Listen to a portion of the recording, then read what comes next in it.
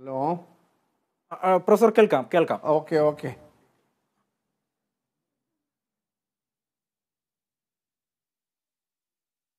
Professor അതായത് doctor Hema പറഞ്ഞത് അങ്ങ് ശ്രദ്ധിച്ച് കാണുമല്ലോ. ഈ നാല് പോലീസുകാർ ഉണ്ടായപ്പോഴാണ് ഇത്തരത്തിലൊരു അപകടം അവിടെ നടന്നത്. ആ നാല് പോലീസുകാർക്കും ആ ഡോക്ടറിനെ സംരക്ഷിക്കാൻ കഴിഞ്ഞില്ല. മാത്രമല്ല പൊതുസമൂഹം ചിന്തിക്കുന്നത്. ഡോക്ടർ ഹേമ പറഞ്ഞത് അങ്ങ് കേട്ട് കാണുമെന്നാണ് ഞാൻ കരുതുന്നത്. അതായത് ഈ ന്യൂസിന്റെ അടിയിൽ പോലും വന്നിരിക്കുകയാണ് ഡോക്ടർമാർക്ക് ഇതൊന്നും കിട്ടിയാൽ പോരാ ഇതിനപ്പുറം കിട്ടണം എന്നുള്ള തരത്തിലുള്ള കമന്റുകൾ പോലും വരുന്നൊരു സാഹചര്യം. വളരെ വേദനയോടുകൂടെ തന്നെയാണ് ഡോക്ടർ ഹേമയും ഇപ്പോൾ ഈ ചർച്ചയിൽ പങ്കെടുക്കുന്നത്. ഹേമ മാത്രമല്ല ഡോക്ടർ നദീം ഷായും പങ്കെടുക്കുന്നത്. നമുക്ക് ഈ സിസ്റ്റത്തിനെ എങ്ങനെയാണൊന്ന് മാറ്റാൻ കഴിയുക പ്രൊഫസർ?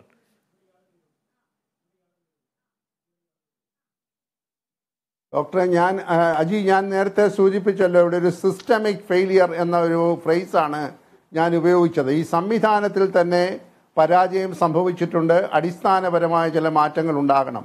ഞാൻ നേരത്തെ നിർദ്ദേശിച്ചതുപോലെ വളരെ വ്യക്തമായിട്ടാണ് ഞാനൊരു നിർദ്ദേശം വെച്ചത്.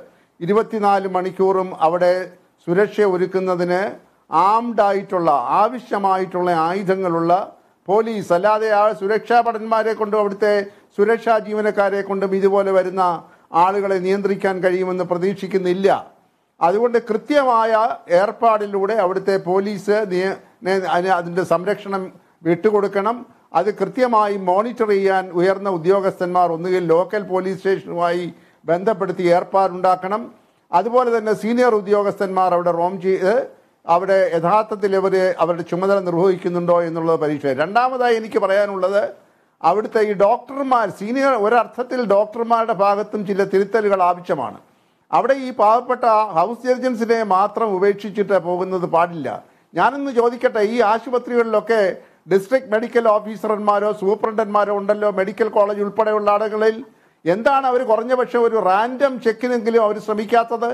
പാതിരാത്രി രണ്ട് മണിക്ക് രണ്ട് മണിക്കോ മൂന്ന് മൂന്ന് മണിക്കോ ഒരിക്കൽ ഒരു പ്രാവശ്യമെങ്കിലും അവിടെ പോയി ഈ പാവപ്പെട്ട ഈ ജൂനിയർ ഡോക്ടർമാർക്ക് ആവശ്യമായ സംരക്ഷണമുണ്ടോ? കുറച്ച് സീനിയർ ഡോക്ടർമാരെ കൂടെ അവരെ പോസ്റ്റ് ചെയ്യാത്തത് എന്തുകൊണ്ടാണ്?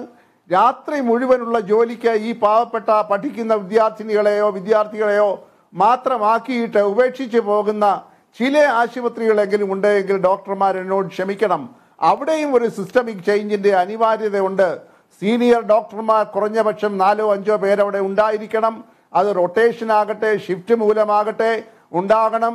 അതുപോലെ മെഡിക്കൽ സൂപ്രണ്ടോ ആർ എം ഒയോ റാൻഡം ചെക്കിങ് നടത്തണം. ഇവിടെ പലപ്പോഴും സംഭവിക്കുന്നത് സീനിയർ ഡോക്ടർമാരുടെ അഭാവം കൊണ്ട് ഇവർ ഇരയാകുന്നു ആക്രമണത്തിനെന്ന് പറയുന്നവരും ഒട്ടും അത്ഭുതപ്പെടേണ്ട ആവശ്യമില്ല. അതുപോലെ തന്നെ അവിടുത്തെ സബോർഡിനേറ്റ് സ്റ്റാഫിന്റെ പ്രതികരണം സ്വഭാവം അവരുടെ പെരുമാറ്റത്തിലൊക്കെ അല്പമൊക്കെ കൂടെ മിനുക്കുപണി ആവശ്യമാണ് എന്ന് വിചാരിക്കുന്ന ഒരു പൗരനാണ് ഞാൻ. അവർ വരുന്ന ആളുകളുടെ വികാരത്തെ തീർച്ചയായിട്ടും നമ്മൾ ഉൾക്കൊള്ളാൻ പൂർണമായി കഴിഞ്ഞു എന്ന് വരികയില്ല.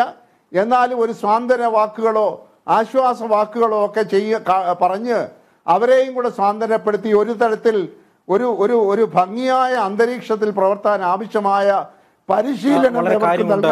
പ്രൊഫസർ എ ജോർജ് ഞാൻ അതിഥികളിലേക്കെല്ലാം തന്നെ മടങ്ങി വരാം. ഒരു ഇടവേള അനിവാര്യമായിരിക്കുന്നു. ഇടവേളയ്ക്ക് ശേഷം എല്ലാ അതിഥികളിലേക്കും മടങ്ങിയെത്താം.